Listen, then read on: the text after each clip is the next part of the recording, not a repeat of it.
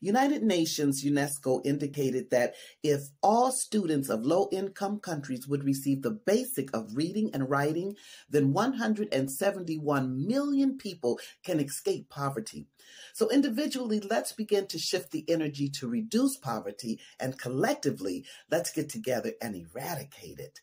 Blessings. Statistics state that 8.5% of the world's population which is approximately 685 million people, live in extremely extreme poverty. This number may seem impossible to eradicate.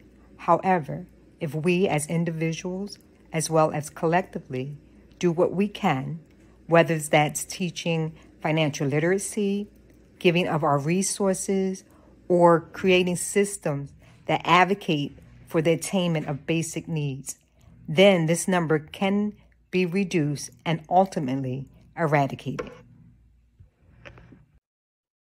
Hi, I'm Hilda. What does poverty mean to me? Poverty to me is memories of my mother bending down over the bath every day to wash our clothes, hand wash our clothes, because we couldn't afford a washing machine. And I hope that every person who does this can do something instead that fulfills them and move out of poverty.